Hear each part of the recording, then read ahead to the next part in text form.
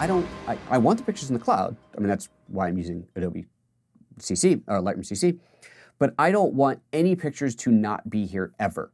So it will keep all images locally. And in fact, I wonder, I'm gonna try this. If I turn that on, yeah, if I turn that on, it says target available disk space, that slider goes away, it will use up to 100%. So you can't, you'd think that this would be up here. Strange UI choice. But anyway, um, that is, that makes sense, right? If I say store a copy of all originals locally, then I can't possibly decide how much space I'm going to use because how much space I'm going to use is be, going to be determined by how many photos I import.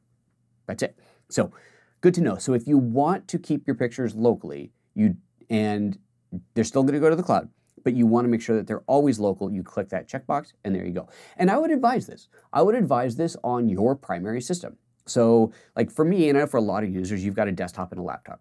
Well, my desktop system, that needs to have all my pictures because they are well, now they're going to be, well, whatever I put in here is backing up to Adobe's Creative Cloud. But I also want my own backup. I want my own local backup. I want my own um, Backblaze backup or whatever I'm using.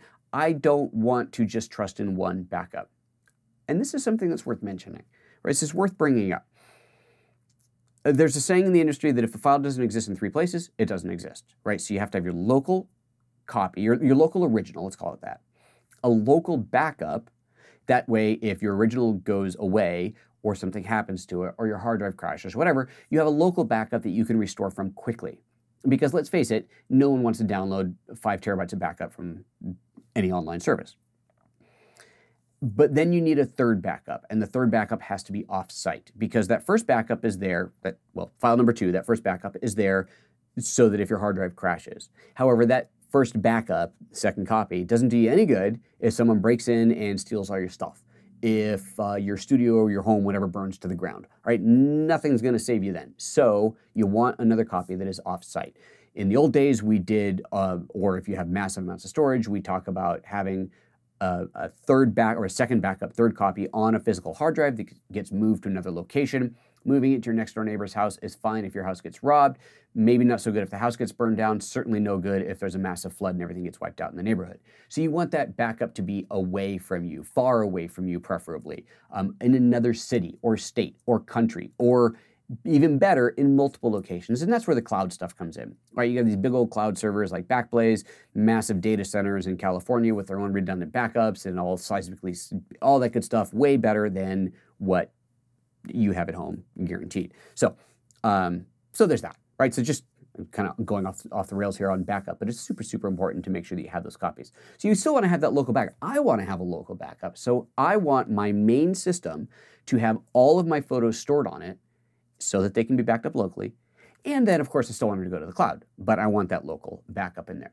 All right, Florian says, so now you gave me a solution by changing location of duplicating or duplicating, okay, sorry, I don't understand. Florian says, okay, so now you gave me the solution by changing location or duplicating it on a different site.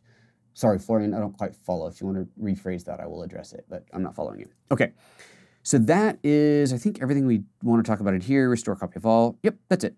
Okay, that's everything in here. All right, let's cancel out of this. And let's move on to uh, importing. Right, it's time to import. Okay, so import is from the little plus button up here in the top left corner. It says add photos. If I click on it right now, it just opens up the open dialog, which is what we did last week. You can just uh, you know, pick any pictures from here. However, let me cancel that. I'm going to take an SD card and pop that guy into there. Pop that in. And actually, you want to know, is it going to automatically pop open an import dialog? I guess not. Okay, some apps will automatically do that. This one apparently doesn't. But now if I click on the plus, the plus, I click on that, now I get a new thing that comes up.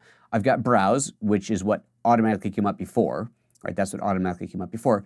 But I also have my, de my device. There it is, connect devices, no name. Well, that's the name of my SD card, is no name.